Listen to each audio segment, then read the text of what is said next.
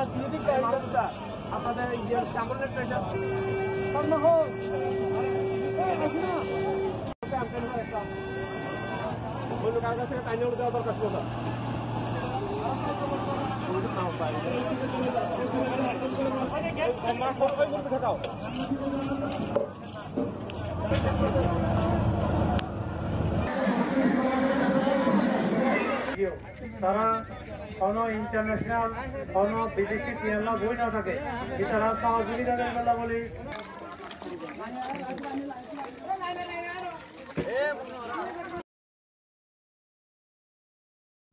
biggest stories the moment they happen from around the globe. Subscribe to Bloomberg Quick Take now for insight in an instant.